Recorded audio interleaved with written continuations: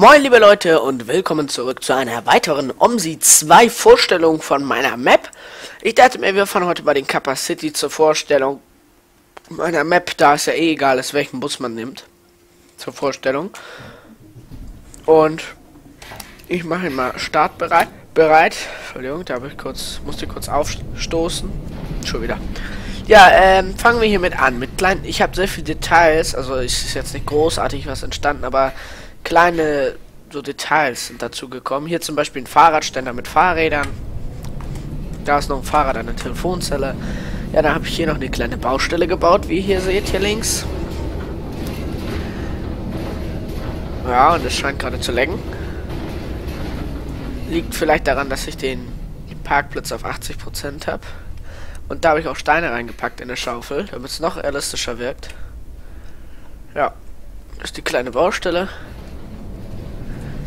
Ja, wer meine Map später mal downloaden will, der muss Baumgarten installiert haben.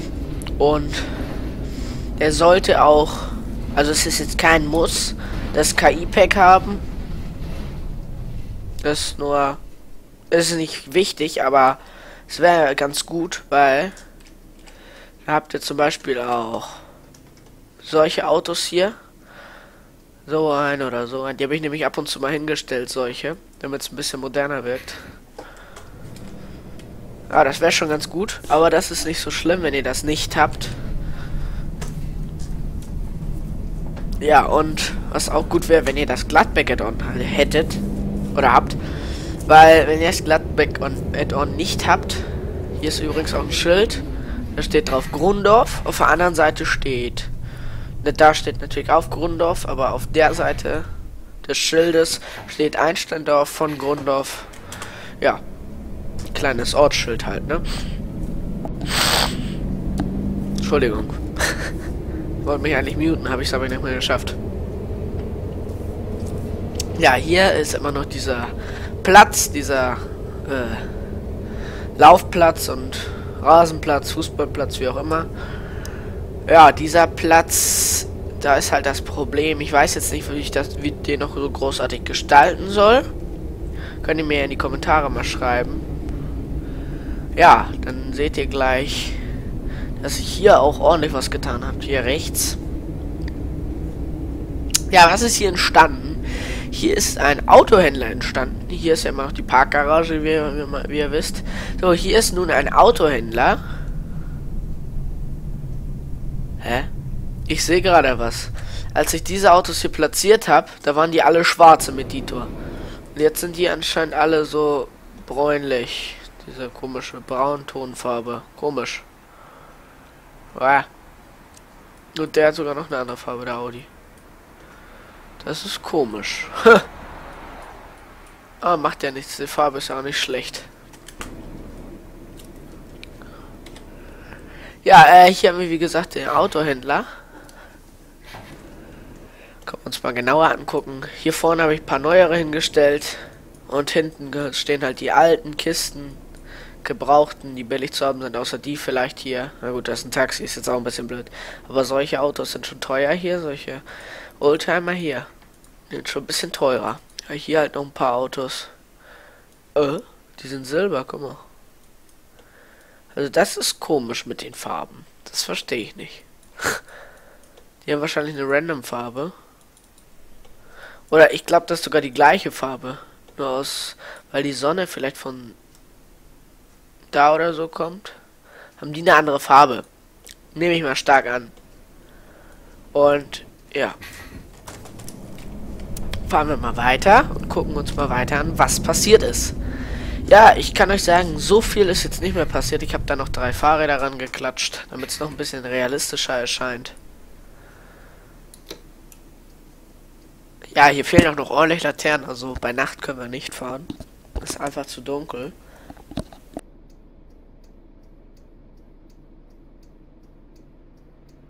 Ja, und das ist halt ein bisschen blöd, wenn es zu dunkel ist, ne? So, wir fahren jetzt einmal rechts herum. Das wäre ja die Linie 76. Dann zeige ich euch auf dem Rückweg, was ich auf der Linie 77 noch verändert habe. Also es sind halt auf der 76 sind es eigentlich nur Details und dieses Objekt hier, diesen Autohändler auf der 77. Es sind es auch nur kleine Details. Aber, naja, ohne Details wäre die Map auch scheiße. Um es mal so auszudrücken. Hier habe ich übrigens noch ein bisschen Wald hingepflanzt. So wie hier. Grün schadet nie. Und hier die U-Bahn-Linie, äh, die Bahnlinie, habe ich auch Bäume so umgepflanzt, dass man es nicht mehr so sieht. Ja, was habe ich noch geändert? Nichts mehr großartig. Habe ich da oben noch was geändert? Nö, eigentlich nicht. Zeige euch nur noch mal, dass ich hier ein paar Bäume hingesetzt habe nochmal. Ah, da fehlt noch ein bisschen was. Muss ich noch einen Backdrop hinsetzen, sonst sieht man zu viel von dem Rasen. Ja, so sieht das halt hier aus. Ein bisschen bepflanzter alles. Hier muss ich auch definitiv noch was bauen. Ich glaube, ich muss hier See hinbauen oder auch einen Wald oder irgendwie sowas. Guten Morgen, Kollege. Hoppla. Jetzt habe ich mich selber erschrocken. Hä? Hat er gerade zurückgehupt? Ich glaube, das war ein draußen in Real Life.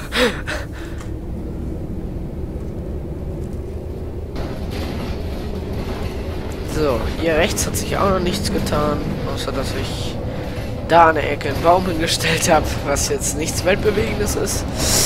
Ich muss hier rechts noch was hin tun. Ich weiß zwar noch nicht ganz was, aber ich werde schon was finden.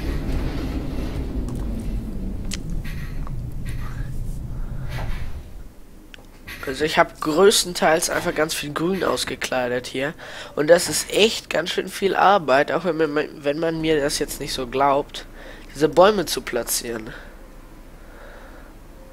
Weil es ist nicht einfach platzieren, sondern es ist, du musst quasi einen Baum nehmen, dann N drücken, dann kopierst du den Baum quasi und dann kannst du ihn wieder platzieren. Aber wenn du einmal so drauf drückst, einmal, dann macht er es meistens nicht. Also musst du wirklich immer klack, klack, klack, klack, immer 100 mal klicken. Also hier einmal N, dann den hier. Oder manchmal auch zweimal, weil er den nicht nimmt oder so. Boah, das ist schon ganz schön nervig. Ist nicht so gut gemacht im OpenSea-Editor. Hätte man einfacher machen können. Das muss man mal so sagen. So. Ja, es leckt leicht, leicht wegen den KI-Autos. Hier habe ich übrigens auch Bus auf dem Boden geklatscht. Ich glaube, das werde ich an den anderen auch noch machen. Ihr könnt ja mal in die Kommentare schreiben, was ihr davon haltet, ob ich das machen soll bei den anderen oder eher nicht. Ich würde sagen, ich mache das überall. Oder? Ja, jetzt bin ich mir selber schon nicht mehr sicher. Ich glaube, ich lasse das noch ein paar Haltestellen, oder? Schreibt es in die Kommentare, wenn ihr wollt.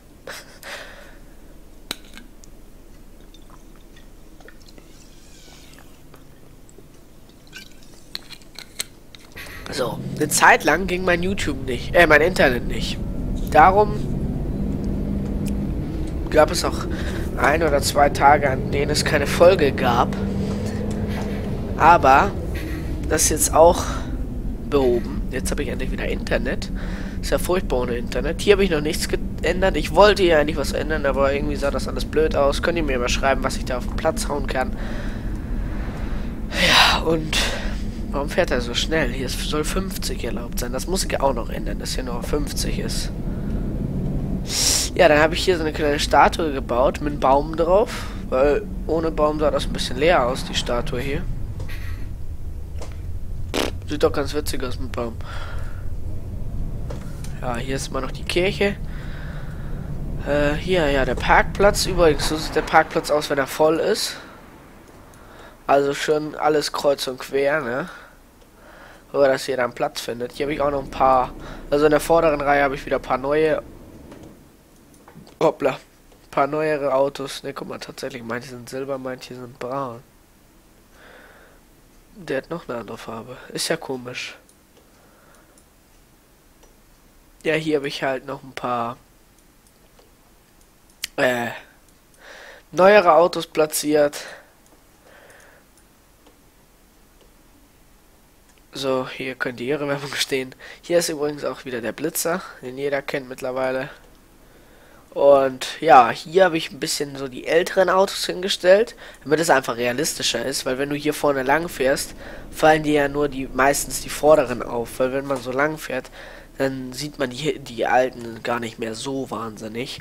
Und ich könnte nicht alles voll mit neuen setzen, weil die Leute, die dann kein AI-Pack haben, die haben dann ein Problem, weil die haben dann gar keine Autos mehr hier. Und die sind auch nerviger.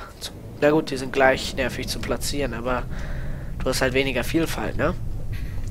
So. Ja, habe ich was vergessen zu zeigen? Nein. Ich glaube nicht. Ja, äh, hier haben wir noch was Besonderes. Und zwar habe ich hier aus dem Baumgarten ein DM hingeklatscht. Das ist eigentlich nur so ein Schild, aber sieht so aus, als wäre da hinten Lidl und hier DM, oder nicht? Zwei Schilder nebeneinander wäre, glaube ich, ein bisschen blöd. Darum habe ich das mal so gelassen. Ich finde das gar nicht so schlecht. Ich meine, es sieht besser aus, als wenn das alles leer hier wäre. Dann ist hier noch ein DM, hier eine Parkverbotszone, da auch. Und hier noch die Flaschendinger, die Flaschen wie heißen die Töpfe? Ne, Flaschen. Äh, Flaschen. Container. Vielleicht. Ja, haben wir hier noch einen Falschparker. Der stellt sich einfach mitten hier auf die Straße. Ich dachte mir, kann man ja mal machen. Weil in echt gibt es ja auch genügend Falschparker. Daher kann man hier auch mal einen Falschparker hinstellen. Ja, die lohnt sich. Das ist aus dem Gladback Add-on. Ja, gut, die Sache ist jetzt, wenn ihr das Gladback nicht Add-on nicht habt, dann hättet ihr zum Beispiel diesen Lidl nicht. Dieses Schild nicht, dieses Schild nicht, den Blitzer wahrscheinlich auch nicht. Diesen Aldi nicht, diesen McDonald nicht. Also es wäre schon gut, wenn ihr das Gladback Add-on hättet. Aber ich könnte das wahrscheinlich auch so machen. Also ich werde das so bauen, dass man eventuell, also wenn ich das schaffe, dass man auch ohne Gladback Add-on das fahren könnte. Aber ich kann euch das Gladback Add-on nur, auch nur ans Herz legen. Ich meine, es kostet 35 Euro. Aber man hat halt auch 35 Linien. Und wenn man mal so, wenn man mal so rechnet, ist es 1 Euro pro Linie. Also dann ist es eigentlich gar nicht mehr so viel. Und man hat noch einen super Bus, der ist echt super. Und ja, mein Gott, das ist schon cool da, Gladbeck. Und außerdem dieses AI-Fahrzeug-Pack, das würde ich euch erst recht ans Herz legen. Das kostet, was kostet das? 13 Euro? Ich glaube ja. 13 Euro und ihr habt irgendwie 25 Fahrzeuge. Da bezahlt ihr 50 Cent für ein so ein Auto. Mein Gott. Und ihr habt das viel realistischer. Das doch, das sollte doch wohl nicht wehtun, 13 Euro für die Autos zu bezahlen. Und man hat, also der, der Bauer dieser Autos da, dieser Modder dieser Autos, der hat sich eigentlich echt Mühe gegeben, weil man kann sich das ja mal angucken, ist schon relativ gut detailliert. Also ich weiß nicht, warum man sich, man sich das nicht kaufen sollte. Ja, also das kann ich euch auf jeden Fall empfehlen und Gladbeck, wie gesagt, auch.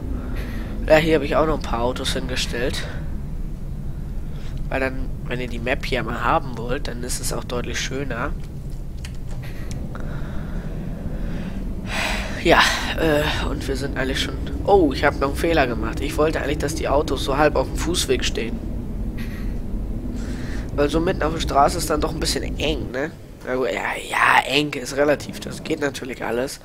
Aber ich finde, wenn das so ist, wie hier, das sieht irgendwie einfach besser aus, wenn die so halb auf dem Fußweg stehen, ne? Und ordentlicher aus. Und man hat halt mehr Platz. Na gut, das sollte jetzt nicht das Problem sein. Das hat man auf Grundorf sowieso genug. Aber... Na gut. So. Ja, das war eigentlich so meine Rundführung. Kann man sagen. Ja, hier habe ich auch übrigens Bus nochmal hingeklatscht unten auf dem Boden. Ah, und hier die Fahrräder noch. Fahrräder sind auch ein bisschen frickeliger zu setzen. Stellen wir uns mal hinter diese Baustelle. Äh, ich glaube, wir machen das so. Sekunde.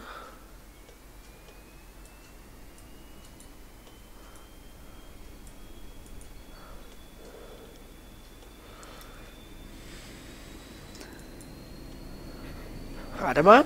Ich habe eine Idee fürs Thumbnail für dieses Video. Ich glaube, das machen wir nämlich hier so. Das könnte nämlich ganz gut ausschauen. Ja, hier habe ich übrigens auch noch die Schilder rangesetzt an diesen... Äh, wie heißen die Teile hier? Die äh, Absperrungen. Da habe ich diese Schilder noch rangesetzt. So, Troller, lauf mal schneller, dann können wir ein Foto machen.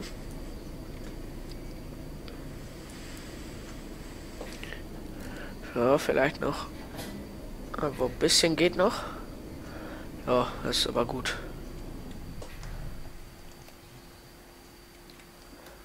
Ja, einmal ausmachen die Kiste. Oder vielleicht wirklich... Nein, nicht so.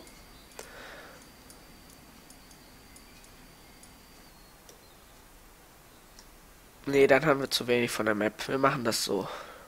Ungefähr. So vielleicht. Gut, jetzt haben wir auch nicht viel von der Map, aber man kann zumindest erkennen, dass nicht original Grundhof ist.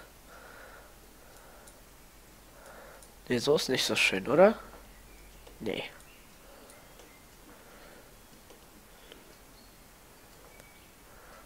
Auf Kopfhöhe.